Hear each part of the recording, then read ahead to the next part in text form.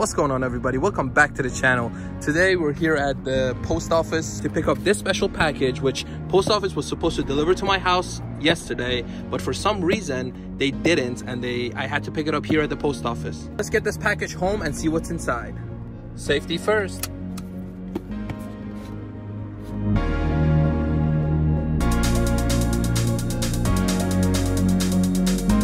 So this package is from Arms Motorsports. Uh, let's see what's inside.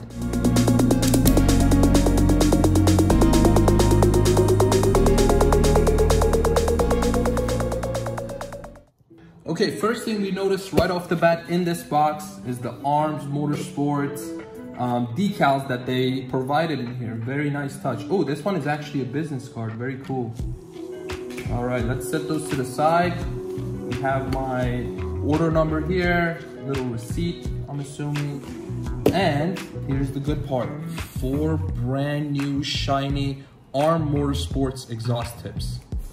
Now guys, I'm really impressed with the way these things are packaged because um, there's no way these things can be damaged during shipping and you know handling. So let's see what we got. Um, everything is bubble wrapped. Gonna rip that out. Ooh, these are nice. I can already tell. This is what we have here. Look at that.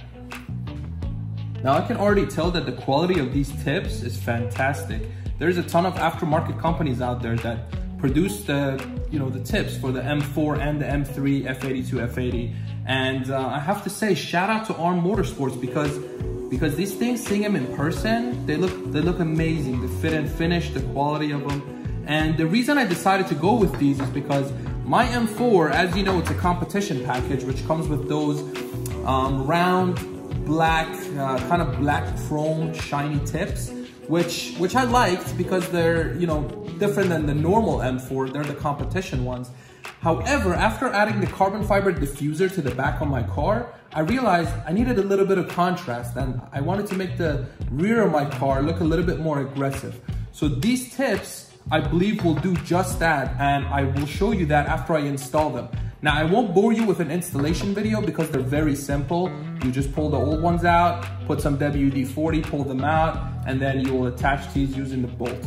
Also another shout out to M4 Mike who um, I saw his video on his YouTube that he installed these tips on his car and uh, he's the one who actually got me looking at these tips because I was looking at um, other companies that were out there. But um, yeah, shout out to him. Originally, I was gonna go with the BMW M Performance titanium exhaust, which has um, choice of two different types of tips, the titanium and the carbon fiber.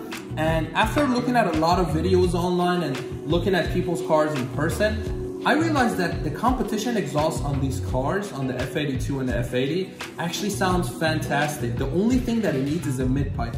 So I decided to keep my stock rear and just add a, either a single mid pipe or equal length mid pipe um, to the car. Well, that's gonna be on a future video. I'm gonna go ahead and install these things. See you guys in a little bit.